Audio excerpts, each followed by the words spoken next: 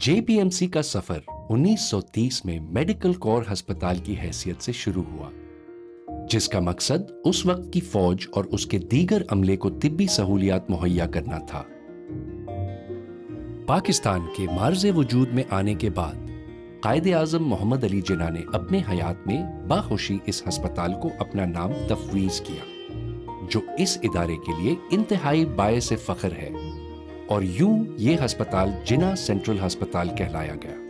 قائد اعظم کا فرمان تھا کہ یہ ہسپتال ہر خاص و عام پاکستانی شہری کے لیے اپنے دروازے ہمیشہ کھلے رکھے اور بلا تفریق و بلا معاوضہ، علاج و معالجہ باہم پہنچائے۔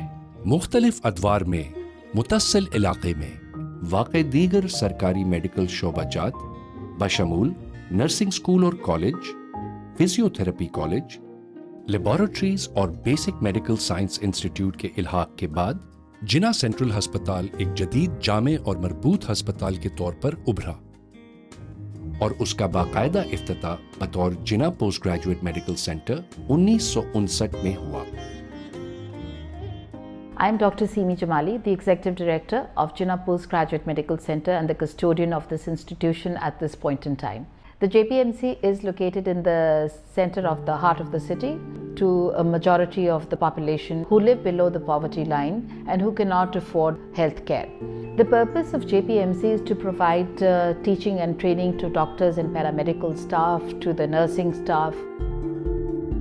Since 1954, the National Assembly of Pakistan authorized the addition of health education at JPMC. This allowed for a growing demand for the training of new doctors and healthcare professionals. This complemented the departmental growth at JPMC, focusing on the fields of preventive, curative, rehabilitative, teaching, training, research and development. I found the um, staff and the management at the Jinnah Postgraduate Medical Center in the shape of Dr. Seemin Jamali and Professor Jamali, who heads the orthopedic department, incredibly humble, incredibly generous, and welcoming. Particularly in education, I've now been invited a number of times to come here and share some of my experiences with the colleagues here at Jena. I've been very well received. Uh, they've been very generous and welcoming every time. Also, we're now collaborating together to use new biologic treatments to treat knee arthritis. Jinnah's particular specialty کہ اس عوام اس پہ trust کرتا ہے اور اس کے ساتھ ساتھ جو ہے یہاں پہ علاج معالجے کی سہولت کے ساتھ ساتھ ٹیچنگ ٹریننگ پہ بڑا فوکس ہے۔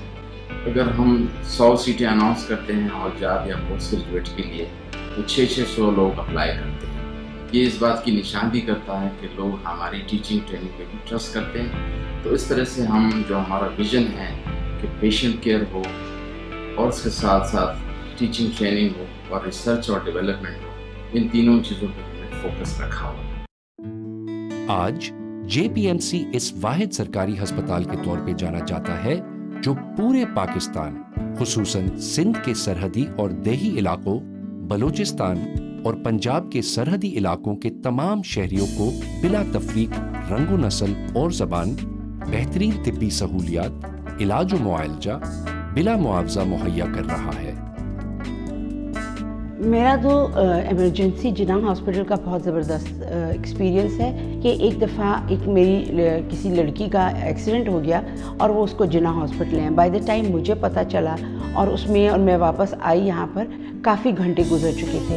جب میں اندر آئی اور میں نے دیکھا جناح ہاسپٹل کی emergency I could not believe کہ میں Jinnah hospital is beautiful clean neat صاف اور وہ سب نیا ہو چکا تھا۔ اینڈ اس کو پورا ٹریٹمنٹ مل چکا تھا، اس کو بلڈ چڑھنا تھا بلڈ چڑھ چکا تھا۔ اینڈ مجھ مجھ بائی دا ٹائم میں اس کو کوئی چیز کی ہیلپ کرتی اٹ واز ڈن عادات و شمار اس بات کی گواہ ہیں کہ گزشتہ برس مختلف شعبہ جات میں اوسطاً لاکھوں مریض لائے گئے، جن میں سے او پی ڈی میں پندرہ لاکھ سے زائد مریض زیر علاج رہے۔ ایمرجنسی میں پانچ لاکھ کے قریب مریض لائے گئے۔ اسی طرح زچہ بچہ وارڈ میں بیس ہزار سے زیادہ بچے پیدا ہوئے۔ ایک سرکاری ہسپتال ہونے کے ناطے یہ انتہائی قابل فخر امر ہے کہ عوام الناس کے بلا معاوضہ طبی خدمات کے لیے یہ ادارہ موجود ہے، جس کا تمام عملہ ہمہ تن اسی کاوش میں مشغول ہے کہ لوگوں کو بہترین طبی سہولیات مہیا کی جائے۔ آبادی میں بے بہا اضافے کے باعث جے پی ایم سی پر شدید دباؤ آنا ایک لازمی امر تھا۔ ایسے میں کراچی کے باشعور حساس دل مخیر حضرات نے فی سبیل اللہ اس ادارے کی مدد کا فیصلہ کیا اور ہسپتال کی سرکاری حیثیت کا احترام کرتے ہوئے ہسپتال کی انتظامیہ اور روزمرہ اموار میں مداخلت کے بغیر ایک انتہائی مؤثر پرائیویٹ پبلک پارٹنرشپ کا تصور روشناس کرایا، جو پیشنٹس ایڈ فاؤنڈیشن کی صورت میں انتہائی مؤثر طریقے سے کار فرما ہے۔ Patients aid foundation joined hands almost 30 years ago with the JPMC. Patients Aid Foundation partners with the JPMC in providing better buildings, good equipment, and also supplying medicines and consumables.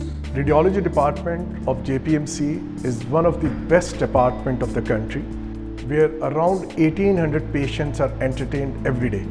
And we have 4 CT scanners, 4 MRI scanners, 42 color Dopplers, and all other modalities including mammography, DEXA scans, and a PET CT scanner, which are offered absolutely free of charge.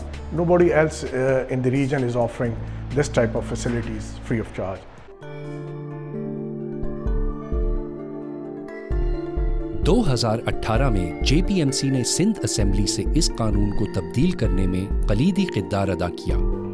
کلیدی کردار ادا کیا جس کے تحت ambulance کو جگہ نہ دینے پر سزا مقرر کی گئی There are several occasions when all hell has broken out in the hospital. There has been a terrorist attack.